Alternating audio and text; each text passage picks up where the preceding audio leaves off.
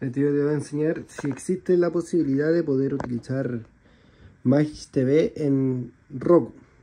¿Vale?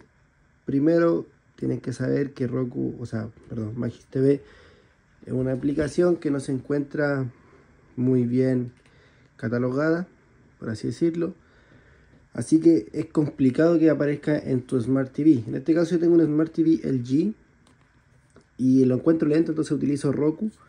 Yo te voy a enseñar si es que se puede. Por ejemplo, si nosotros nos vamos a canales de streaming, y aquí una aplicación de streaming, deberíamos buscar aquí en buscar canales y deberíamos buscar. Pero si nosotros nos vamos aquí, no aparece. Y si buscamos por, por el nombre de la aplicación,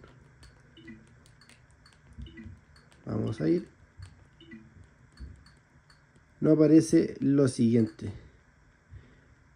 Magic TV, sin embargo, no es la aplicación. Pero recomiendo probarla. Porque es súper similar. Pero no es lo mismo. Recomiendo probarla si funciona bien. Si no, lo que tiene, lo que, en donde funciona esta aplicación para tu Smart TV es en Fire Stick de Amazon Fire Stick o en los eh, TV Box que tienen Android TV.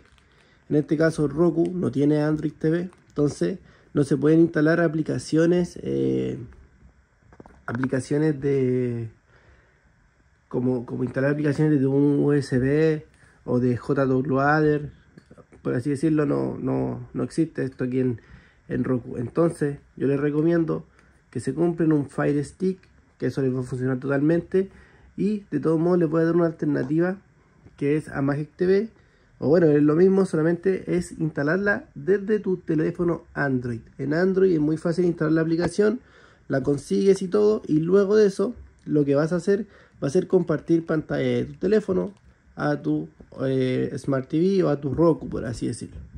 Es la única forma que existe para poder ver desde tu Smart TV. Así que es lo que yo te recomiendo y es para que nos veas videos truchos, videos que muestran que si se puede, aquí que allá, no es real.